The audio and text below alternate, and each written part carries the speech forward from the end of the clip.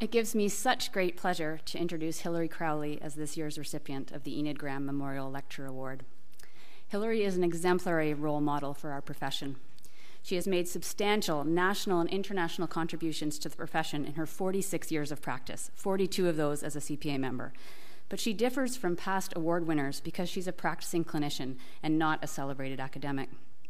As nominators, we really viewed this as not a weakness, but as a key strength of her candidacy.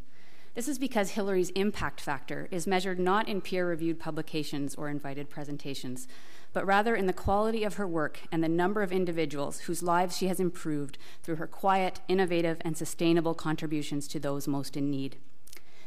As we will hear, Hilary's is a unique example of a career that integrates meaningful global health experiences with diverse Canadian expertise in a variety of caseloads and models of practice. In her clinical practice, both in Canada and abroad, Hilary demonstrates a commitment to social justice that is a theme throughout her professional and personal life, always focusing on providing service to those who face substantial social inequities and poor access to healthcare resources. In doing so, Hilary is unique among physiotherapists who work in international health for her focus on taking students and leading clinical placements overseas. Hilary is also a role model for how physiotherapists can be involved in their local communities, as she has used her expertise as a volunteer at high level sports events and for disability advocacy issues. Indeed, Hilary has contributed significantly as a clinician, educator, leader, and advocate for issues that are central to the values of our Canadian Physiotherapy Association. Moreover, her goal in these efforts has always been sustainability for local communities, capacity building, and education of physiotherapy students. This lecture is timely for the profession, as the role of physiotherapist in global health initiatives has received substantial attention in the media as of late. Hilary, who, receives, who strives to reduce her impact on the earth by living with her husband off the grid in a log cabin that they built themselves, will nonetheless have a long lasting positive impact on our profession, and she is richly deserving of the Enid Graham Memorial Lecture Award. Please join me in welcoming Hilary Crowley.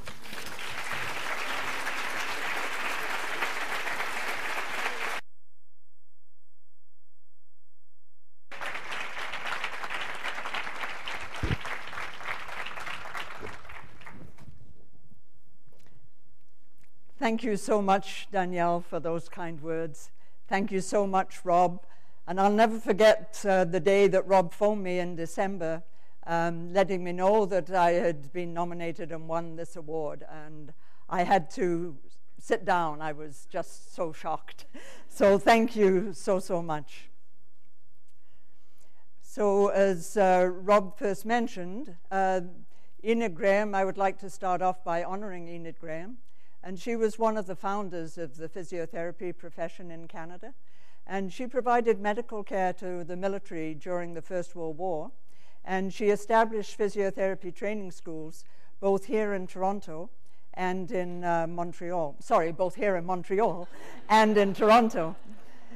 Uh, and during the Second World War, she assigned physiotherapists to military hospitals, both at home and abroad, and ensured that they had officer rank so that they were paid appropriately. She was an inspiration to her colleagues and well deserves to be remembered and honored annually through this award. She was really the Florence Nightingale of physiotherapy in Canada. I should like to thank the Canadian Physiotherapy Association for awarding this honor to a generalist, a non academic, and a northern and rural physiotherapist.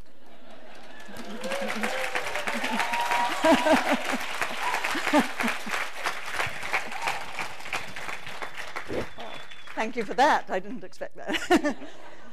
I should also like to thank CPA for recognizing the attributes of international development work, uh, the mentoring of students, and the benefits of community based rehabilitation. And I'm really humbled to find myself amongst the elite company of previous Enid Graham Award winners, or Enids, and with their stellar careers.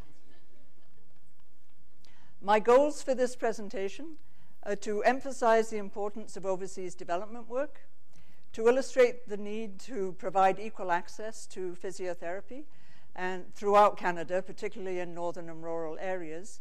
And as many of you know, CPA already has a position statement about this that everybody has a right to rehabilitation regardless of financial standing or availability of the service.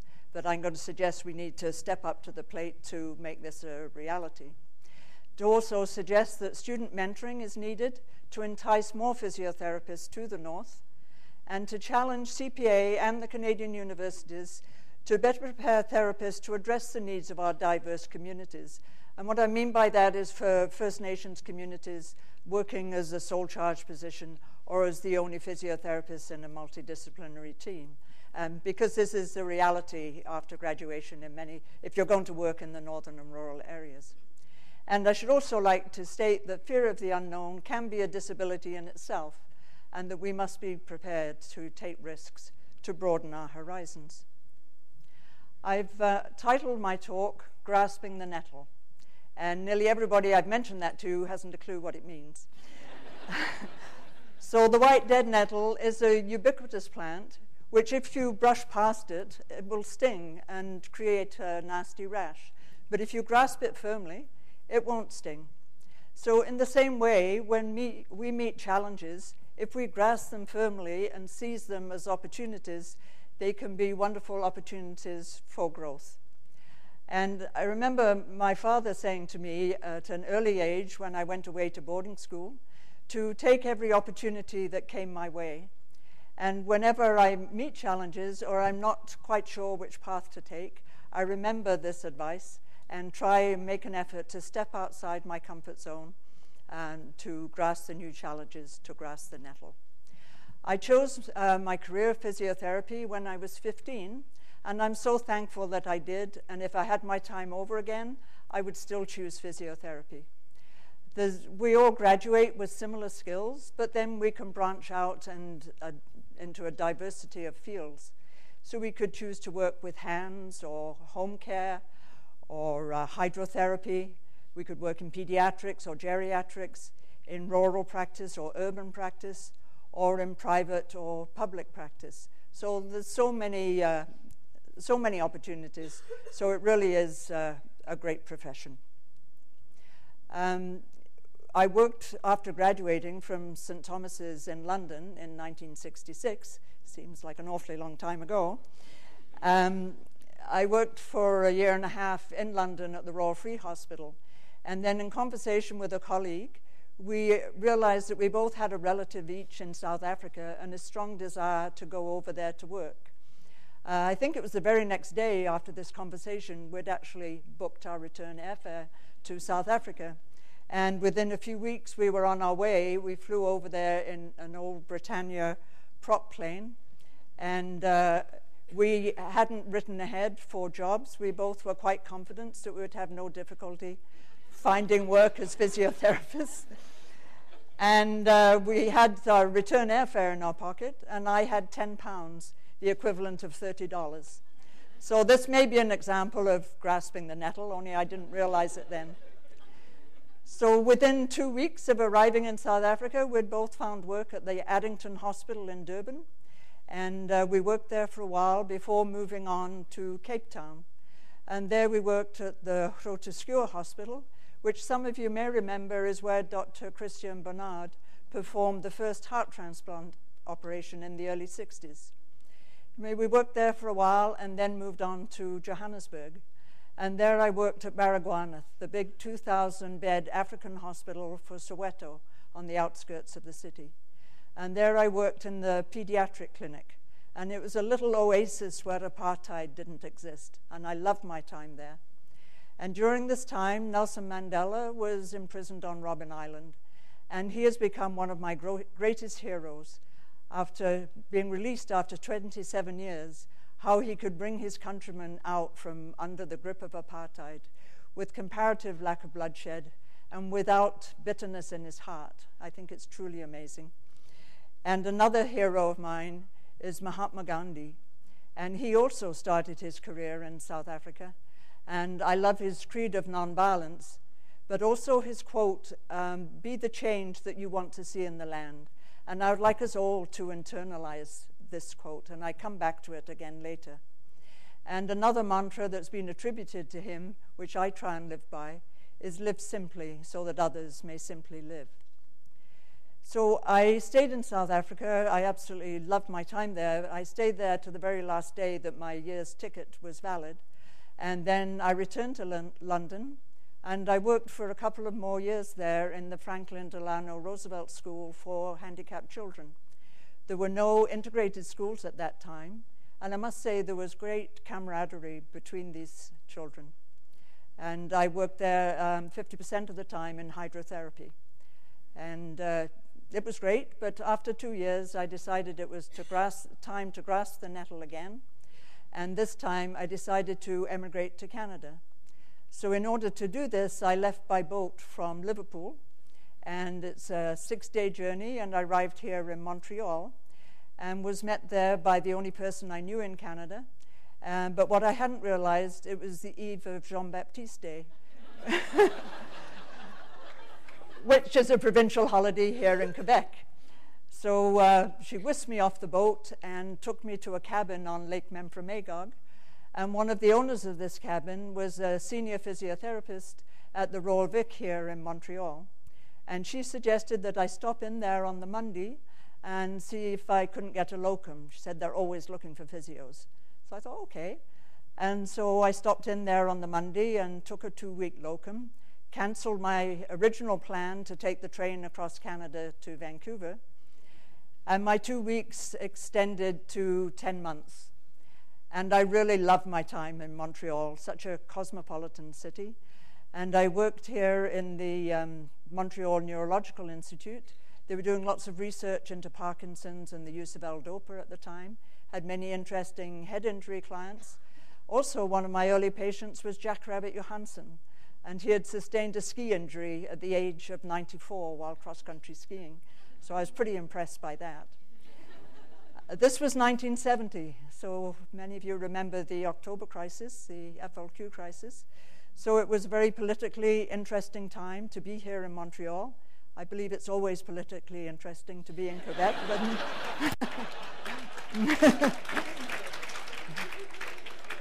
So, in order to get from my apartment uh, on McGill campus to the Royal I had to uh, walk the gamut of uh, camouflage armed soldiers in every doorway. So, it's a very interesting and stimulating time to be here. I don't think Gandhi belongs there. so, anyway, after 10 months, I decided it was time to move on to Vancouver. And so I beat, uh, bought a beat up old Volkswagen and spent two months traveling around the state, states and arrived in Vancouver exactly one year late. and there I went to work for CARS, the Canadian Arthritis and Rheumatism Society. And after about six weeks there, they were desperate to fill a position in Prince George, which is in north central British Columbia. And uh, I was their newest recruit, and so they asked me if I would go up there for a six month locum. So I was a bit tentative, and I said, okay, as long as you promise you won't forget me. And they promised. And so I went. And I'd only been there about two weeks, and I asked if I could stay. I felt really at home in a smaller community. There was no hierarchy in the hospital. The orthopedic surgeon was on first name terms with the janitor, and this was really foreign to my previous experience. My job there was to um, work two days in Prince George every week and three days on the road, traveling 600 kilometers to the smaller communities west of Prince George. These smaller communities didn't have any physiotherapist, so I was it. So I wasn't just working with people with arthritis, I had a diversity of patients.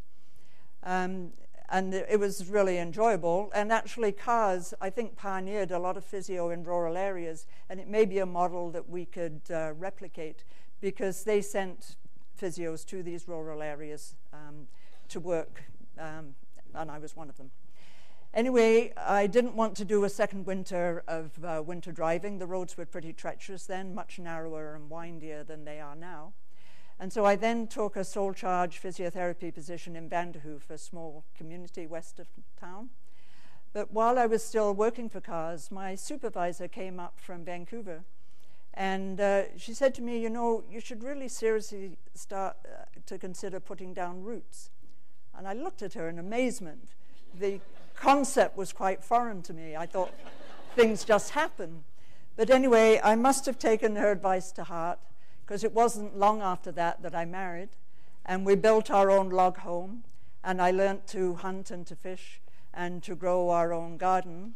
And so now my roots are deep and well nurtured in northern and rural British Columbia. Anyway, I then went to work at uh, the Prince George Regional Hospital, and I worked there for many, many years. But in um, 1994, I uh, decided to grasp the nettle again and to apply to do overseas development work. I'd been wanting to do this ever since that year in South Africa, but the time had never seemed right. But now the children had left home, and I felt if I didn't grasp the nettle then, I would let this opportunity pass me by.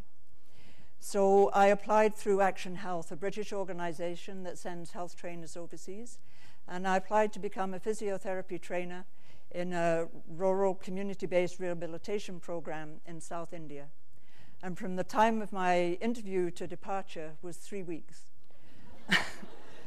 three weeks in which I had to learn how to ride a motorbike to be my mode of transportation. And I had to get all my immunizations, and I had to take a course on learning how to teach. And it was three weeks actually full of fear and trepidation. I was really scared to leave my home and family. I was worried would I get sick? How would I manage with the language? Would I get mugged? Did I know enough about pediatrics to be able to teach pediatrics? Because this was a pediatric community based rehabilitation program. But thank goodness I grasped the nettle and I boarded that plane and I arrived in New Delhi, 47 degree temperature. and when I came out of the airport, I was immediately assaulted by all the sights, sounds, and smells of India. And then I took a domestic flight to Bangalore in uh, South India, that purple state near the bottom of the map. And I spent a couple of days in Bangalore to try and get acclimatized. It was still 47 degrees. And to buy Indian clothing similar to what I'm wearing, as that's what I was to wear in the villages. And the next challenge was to take the overnight train from Bangalore up to the project area. And it is a challenge. And anyway, I arrived at Raichur, the area um, where the CBR program is, and at 5.30 in the morning.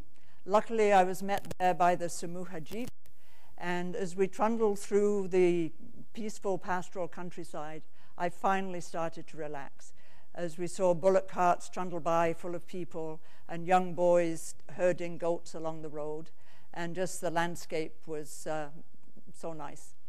And after a two hour drive, we um, pulled into the gates of Samuha, the name of the organization where I've been volunteering, and was immediately surrounded by a whole lot of brown, smiling faces, and was shown to my thatched hut at the end of the row, which was to be my home for the next year.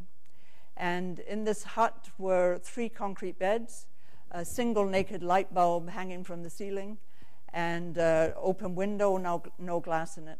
And I chose the concrete bed underneath the window, and there were a pair of bullocks pulling a single wooden plow.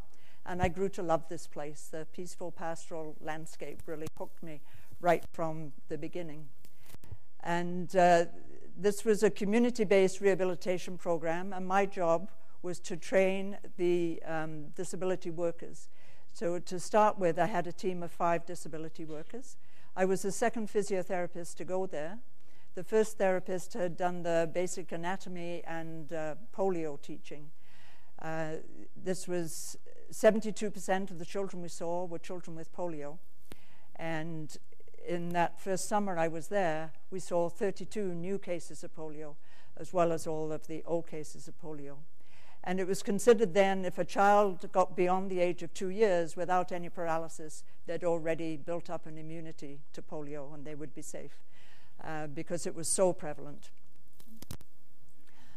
I think, like Enid Graham, um, at her time, the returning war wounded uh, really accelerated the physiotherapy profession, but I also think that the polio epi- epidemic made us essential practitioners also. So this young girl, she's about eight in this picture, has severe flexor contractures of hips and knees, and all she could do was crawl to get around. Her brothers had made her a homemade cart to uh, take her through the village two kilometers to school. So when we discovered her, the disability workers taught the family how to do stretching exercises, and we did serial casting. And when we'd done as much as we could, we facilitated uh, corrective surgery for her in Bangalore.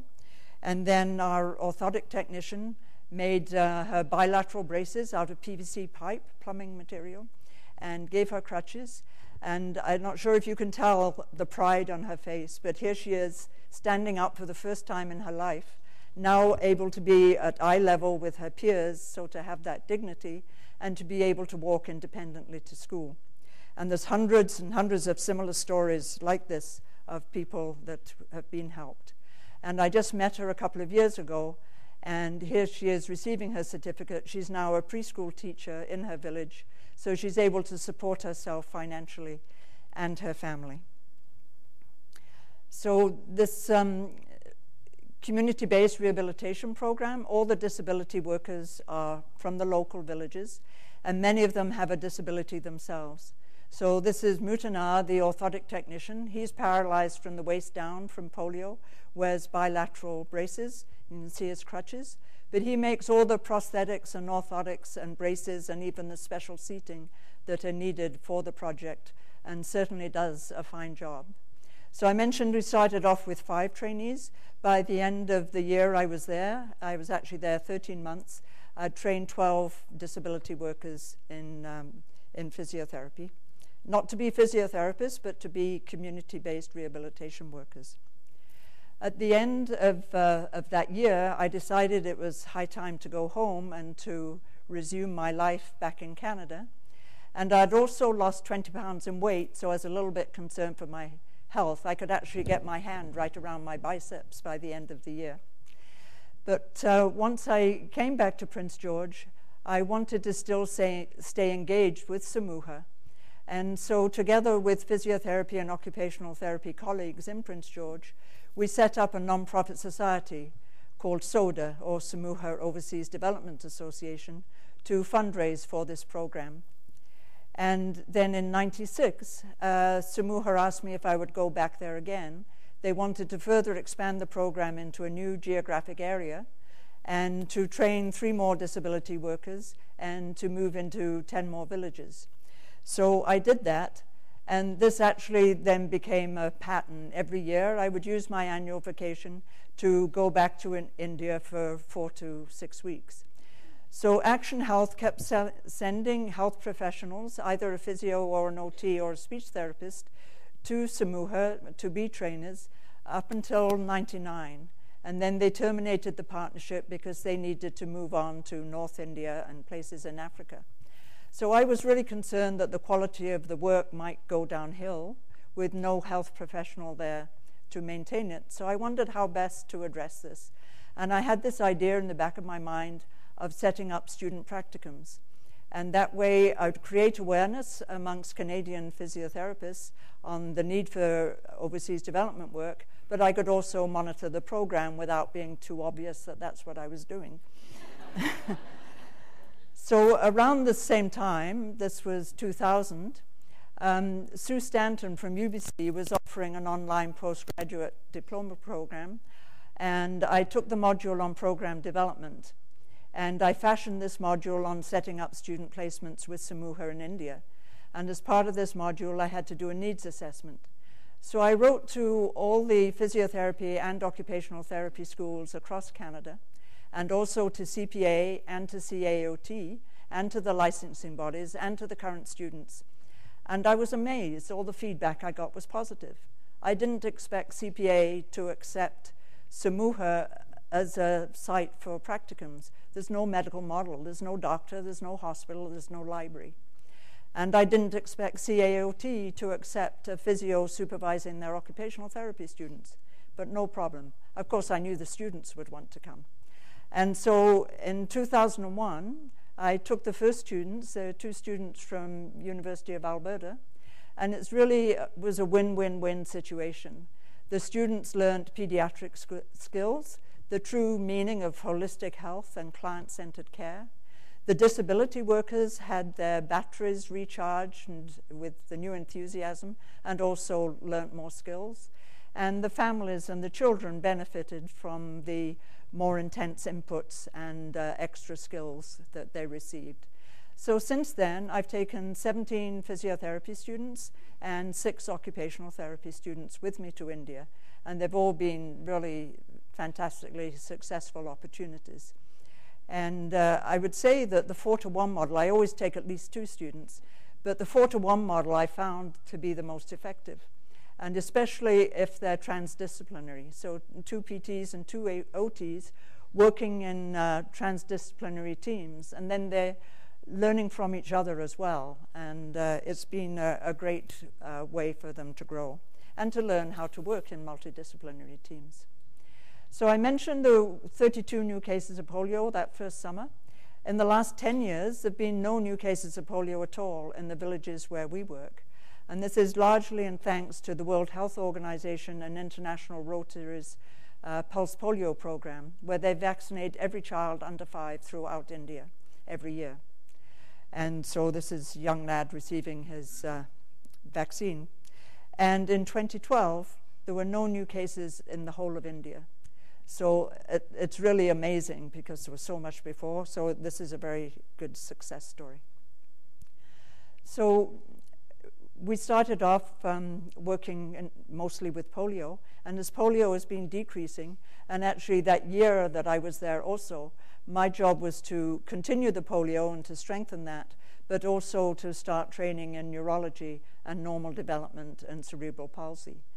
So now, because there's no new cases of polio, we're spending a lot more time working with children with cerebral palsy and developmental delay. And up until this time, it was all home based therapy. But in 2010, we did some extra fundraising. Samuha decided they wanted to set up an early intervention center for children up to six years of age. So our uh, charity, yeah, we got charitable status in 2000. Our charity um, fundraised f- to equip this early intervention center. So you can see it's looking pretty nice. And it's, it just uh, provides more input for the families. So before we were doing home based therapy one day a week to each family, but now they can come every day if they wish, and they can stay all day if they wish. So it's a great opportunity for the parents to be able to communicate with each other and share problems. And if the children um, have speech and hearing difficulties, they can learn sign language here. They can receive um, expertise from special educators. And it's another opportunity for the students to learn. So they now have the home based therapy as well as the early intervention center. He's here in the audience. Hi, Jonathan. and uh, because now we've had no new polio in 10 years, and also the program has expanded from um, 12 disability workers, there's now 26 disability workers, and there's now three orthotic workshops. And we do home based therapy to all the villages in a 40 kilometer radius of each workshop. So it's expanded significantly. So we're now seeing people with any disability of any age. So we're finding we're seeing a lot of young men with spinal cord injury. And when we first started seeing these people in home base, uh, we discovered that most of them were not surviving more than two years post injury. And so this was obviously alarming. And it turns out they were given no advice or follow up after discharge from the acute care. So they would return home to their village and to their hut and sleep on the floor like the rest of the family on dirt or concrete floor, no mattress. Nobody had told them the importance of turning or cushioning. So they were developing these horrendous pressure sores and were dying from septicemia. And some of them were also uh, dying from urinary tract infections because they were given no bowel and bladder training either. So once we discovered that, the first thing the disability workers did when they uh, encountered uh, these people in the home-based therapy was to provide them with a four inch high density foam mattress or else a waterbed mattress, and also a wheelchair with a special cushion. But we still felt we needed to do more. These clients needed a transition from acute care before returning to life in their village. So we did some special fundraising, which we did in December 2011, to build a spinal cord injury unit. And we did this through selling virtual bricks at $25 a brick. And we started it in December, and by the middle of January, we had raised the, the $10,000 uh, needed for the spinal cord injury unit. It's amazing how generous people are when they know that every single cent of what's raised goes to the program and none of it's used on administration or our airfares, heaven forbid, or anything like that. So, this is the physiotherapy gym, and it's all been beautifully ramped. And this is the accommodation and kitchen unit. And uh, once we'd um, raised this 10,000, we then realized this didn't count the equipment. So, in order to equip the physiotherapy gym as well as the accommodation and kitchen, we raised another 7,000. So, actually, in 2012, we sent $37,000 to this program. And it's all raised from the local community through friends and family and colleagues. And uh, so it's been great, and it's another opportunity for students. We were there in January with three physio students from UBC and we took in the first uh, uh, clients with spinal cord injury. So the students were then able to set up the individualized programs, and uh, it was so exciting to see this plan come to fruition. The reason for the spinal cord injuries very unsafe construction practices and falling out of the tree when they're collecting the coconuts. So once you've done some overseas development work, it um, really is uh, provide broadens your horizons for doing other work. And so I went to Projimo in Mexico uh, several years ago. And any of you who've done overseas development work will be familiar with David Werner's book, Disabled Village Children. And nearly all the material for this book is taken from Projimo in Mexico. It's a wonderful community based rehabilitation program where all the staff there are local, but not only local, they all have a disability. And most of them have spinal cord injury. I went there because I knew they had a wheelchair workshop, and Samuha wanted to um, start making wheelchairs for their program. And so both of these men have spinal cord injury, but they make all the wheelchairs for the project. And another um, way to broaden the horizons, I went with a medical team to Tibet. I was able to convince them that a physiotherapist would be a useful adjunct to their team. And uh, so it was a wonderful experience too. As far as I know, I was the first physiotherapist to go to Tibet to work. And uh, it was difficult, though, to be effective there because there was no infrastructure to work from. So the medical team referred patients to me, and I did visit the Leprosy Hospital and provide some inputs there. But um, otherwise, and this is a high Himalayan village only accessed on foot or horseback.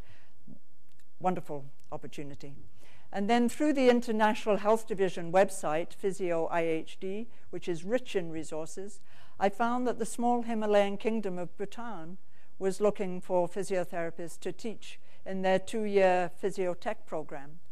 So I immediately grasped the nettle again and applied through health volunteers overseas who were sending physios on four month rotations to teach in this program. And so I went there and I taught in the program. And it involved two hours of formal teaching every day and the rest of it clinical teaching in the big teaching hospital in the capital, Thimphu. And again, a wonderful opportunity. And then just last summer, um, Sunny Hill Children's Center from Vancouver called me, and they were looking for a physiotherapist to join their team to Ladakh in the far north of India, in uh, Kashmir, the red state at the top of the map, sandwiched between Pakistan and Tibet. So, another fantastic opportunity. My job there uh, was to mentor two locally trained physiotherapists in pediatrics. So, back home here in uh, in Canada. I retired from the Prince George Regional Hospital, now called the University Hospital of Northern BC, in 2001. And uh, I now work part time, very part time, as an itinerant pediatric therapist in the small communities west of Prince George, actually, the very same communities that I worked in the early 70s as arthritis physio, now working as pediatric physio. And I mentioned before there were no physiotherapists in any of these small communities. there's still very few physiotherapists in any of these communities. One of the communities has a full time physio in the hospital, and the other two communities have no physio in their hospitals. And uh, both, well, three early intervention centers that exist there have been trying to recruit for full time physiotherapists to their centers unsuccessfully. They just have me. And I only get to each community one day a month. Obviously, not adequate. And I only get to the more distant First Nation reserves once a year. Totally inadequate. So, what I would like to suggest, I mentioned that um, CPA already has the position statement uh, that everybody has a right to access of rehabilitation services, that we really need to grasp the nettle and make this happen. There's several innovative programs already in India, I mean, sorry, in Canada. Um, I know of some in Manitoba and Northwest Ontario. There's um, a fly in physio service, there's the use of tele rehab. And in British Columbia, through the northern cohort of UBC's program through University of Northern British Columbia, we're starting to address this problem. So 20 of the students do uh, the majority of their placements in northern and rural BC. But in order to make this successful, we need to have enough preceptors in northern and rural Canada to give this opportunity to the students. So, just in the same way, I was sent to Prince George reluctantly from Vancouver, and once I got there, I loved it and asked if I could stay. In the same way, a percentage of these students who do their practicums in these smaller communities will find that fits their lifestyle perfectly and will want to stay. But if they don't get that opportunity, they won't know it, and these jobs will go vacant. And there isn't an urgency to this because one of these um, full time positions for a physiotherapist in one of the communities where I work, they've been able to recruit full time occupational therapists and speech therapists and so the occupational therapy hours have been taken from the physio. There used to be two full time positions, one physio, one OT. Now it's one and a half OT, and just me going there when I can. So if we don't address this problem, the funding will dry up and these positions will disappear. So it's really important that we do this. And I think it is our professional duty to step up, grasp the nettle, and be preceptors. And one needn't fear about do we know enough? Uh, is our anatomy too rusty? The students are well versed in problem based learning. They certainly know better than I do how to find resources on the internet. And if we're too busy, the students will take part of the caseload. So, and like I say, the 4 to 1 model in India worked great, but uh, I'm just suggesting this. And I would also like, I would also like to mention that we have a wonderful resource here in Canada, ICACABA, the International Center for the Advancement of Community Based Rehabilitation in Queens.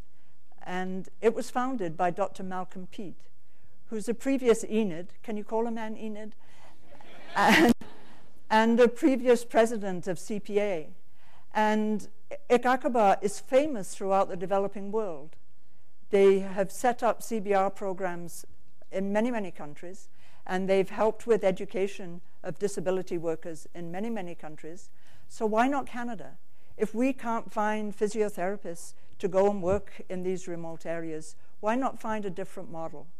And another possibility is the physiotherapy assistants um, who CPA embraces, and maybe it's beyond the means of some people in some of these distant First Nation reserves to be able to reach for a master's degree in physiotherapy. But maybe a one or two year course as a physio assistant or rehab assistant is more within their reach. And with all the advances in uh, technology um, through tele-rehab, audio-visual conferencing, Skype, what have you, um, I'm suggesting that supervision can be done more from a distance. Surely it's far better that they have a service comparable to a com community-based rehabilitation program, which really helps uh, families in these communities, rather than have nothing, or just have to resort to flying out to a big city where the culture is totally foreign to the people that live in these smaller communities. So I would like to suggest that we grasp the nettle, step up to the plate, and make this a reality.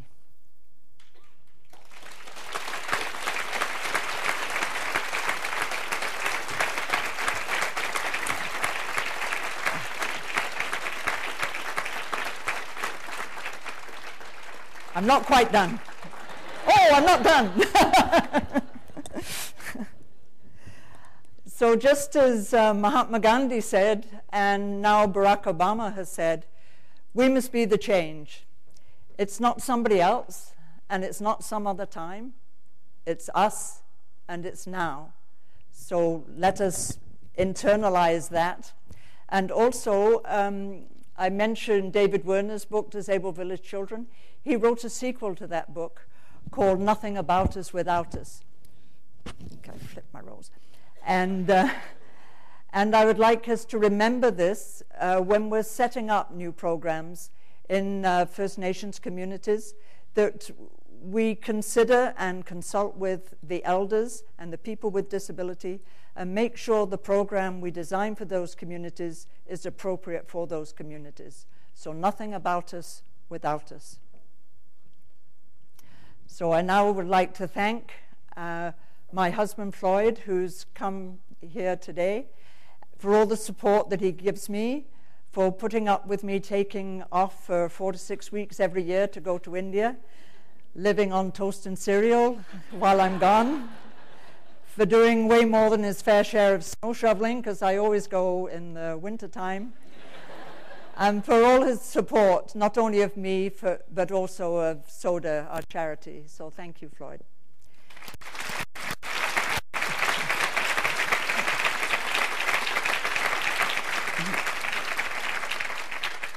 Thank you also to my sister Helen and her husband Peter, who have flown here from England to be here today, and for all their support, for making the effort to come here but also for the, all the fundraising that you've done in your village back in England, putting on silent auctions, and for all the awareness you've created through articles in the newspaper and the parish magazine. So thank you so much for all your support.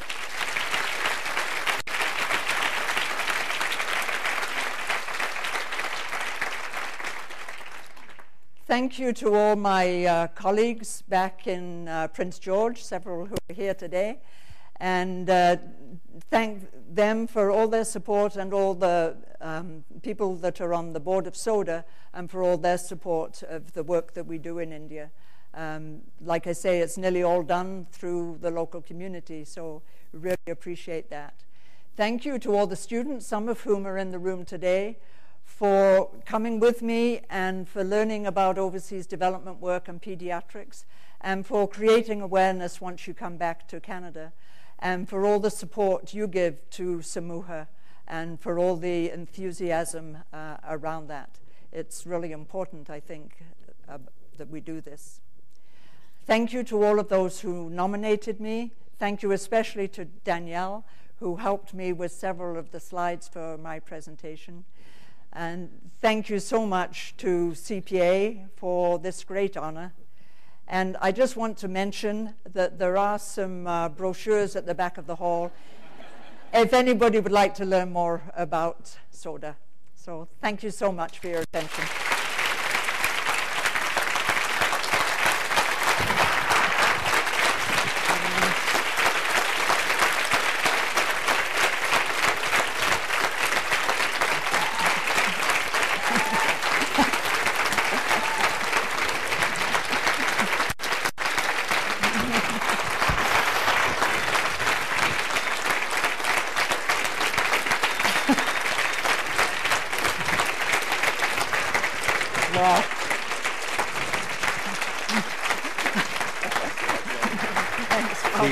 Stay here for a moment. Okay. Merci beaucoup. Uh, Hilary, I'd like to talk to your husband Floyd about the essence of spontaneity. This is unbelievable.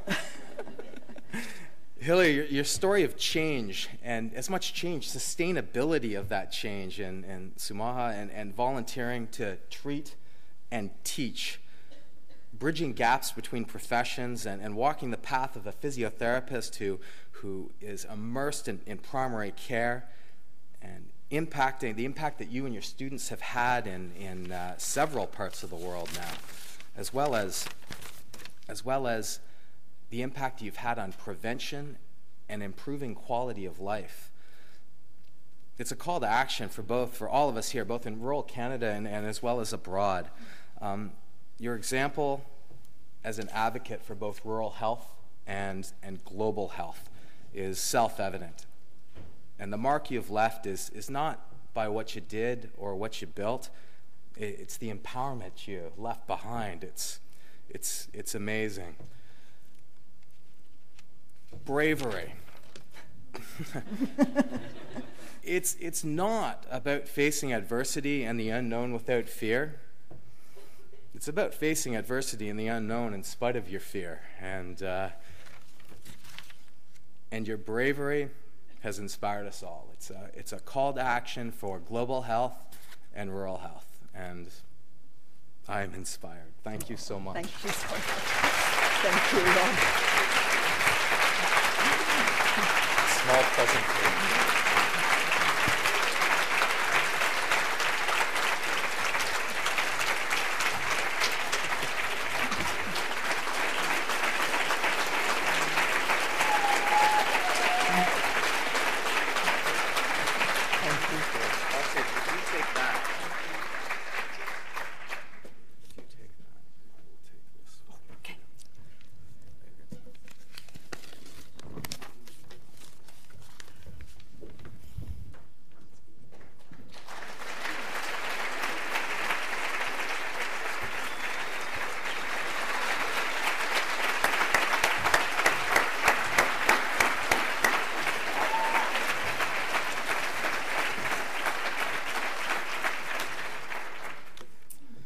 I'm so proud to be able to present Hilary with that, uh, with the certificate and the, the token of our appreciation on behalf of, of your friends, your colleagues, the CPA board, and the physiotherapy profession. We thank you for your work and your exceptional dedication. It is now my pleasure to welcome Michael Brennan, CEO of the Canadian Physiotherapy Association, to the podium to speak on behalf of your research foundation, the Physiotherapy Foundation of Canada. Michael. Merci, Rob. Bonsoir tout le monde. Um, that concept of grasping the nettle uh, is, is not one I'd heard before. I do wish I was English sometimes. uh, wonderful expressions and so on. Um, we have an opportunity right now, uh, maybe perhaps to a smaller degree and maybe a less personal degree, to seize or grasp the nettle. Your foundation, um, a few years ago, made some decisions, some bold decisions, uh, and, and maybe grasping the nettle is perhaps more foolhardy than bold sometimes, but a bold decision to make some change and really aspire to make a difference, uh, to fulfill the promise that the foundation has had since its inception back in the mid 80s. And I'm very pleased to report on a couple of key progress indicators that are inspirational uh, and perhaps will inspire you to consider uh, giving generously tonight. The first is that when we take the awards and scholarships and grants that were issued over the last month or so, in combination with the two doctoral scholarships that PFC was instrumental in founding and is a, a partner in with two other groups. Uh, the foundation this year made contributions of over $170,000.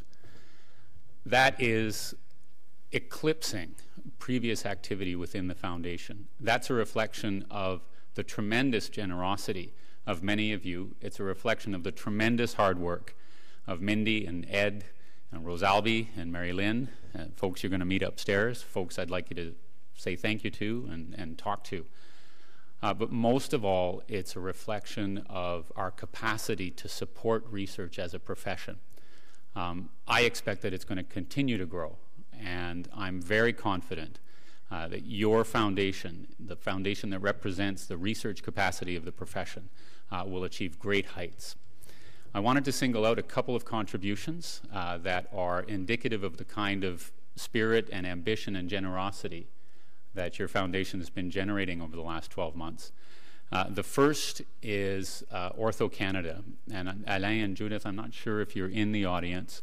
Um, if you are, I'd like you to stand.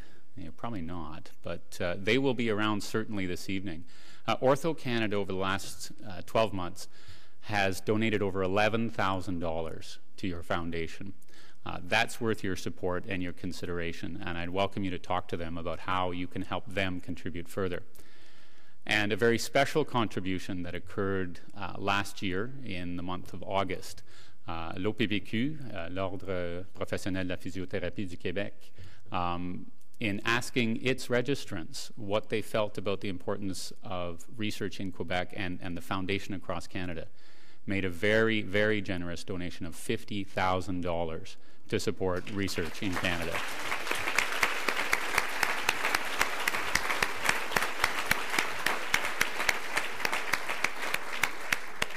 So now it's your turn. Um, upstairs in La Salle Bonaventure, the Bonaventure room, uh, we have what looks to be a very well stocked silent auction. So I encourage you to go upstairs, uh, enjoy the refreshments that are available to you, and do not leave without bidding and bidding high. We need all the support that we can get from you. So thank you very much. Enjoy the rest of the evening. Bonsoir tout le monde.